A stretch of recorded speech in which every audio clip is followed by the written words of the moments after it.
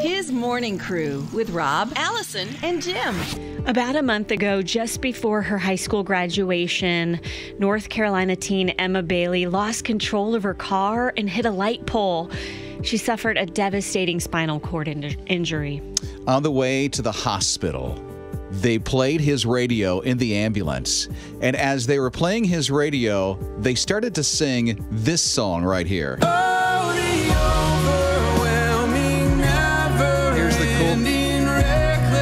the cool thing Cory Asbury caught word that they were singing this song in Emma's story and had this special message for Emma. Cory Asbury here.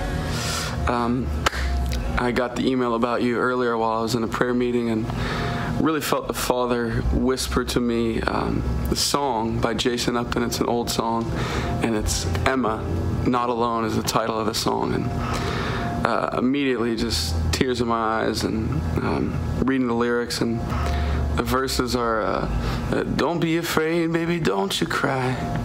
Daddy's here, it'll be alright. You're not alone. And don't be afraid if you scrape your knee. Got a band-aid waiting and a kiss for free. You're not alone. You're not alone. And uh, just felt him whisper, "You're not alone." I know it's difficult, uh, but he's with you, and he's the comforter. You're you're not alone. And- mm, You're not alone, Emma. Cory is saying to Emma in that special message. Well, it turns out that Cory Asbury and Matt Maher are going to be in concert right up the road from where Emma is in the hospital in August. And we had an opportunity with Scott Watson to show up at the hospital where something very special took place.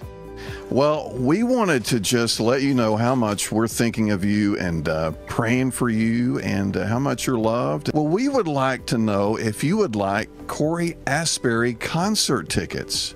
Yeah. He, uh, yeah, he is coming with Matt Maher to uh, Catch the Fire Church in Durham, and that's going to be in August. So we would like to give you some tickets. How about it? Thank you. She and mm. there was a whole crowd of people that were in there. She was surrounded by family and friends. They were anticipating what Scott was going to do. She looked so good. The smile on her face as Scott gave her goodies and specialized, humongous looking VIP tickets to see Cory Asbury and Matt Maher in concert in August. That's going to be such a special day. I know this encouragement means so much to Emma and her family. Yeah, so thank you for praying for Emma. We're standing with Emma along with you. She's got a long road ahead of her, but because of you and your prayers, she's making it through, and we're just so, so very grateful. Emma, we're going to see you at the concert, girl.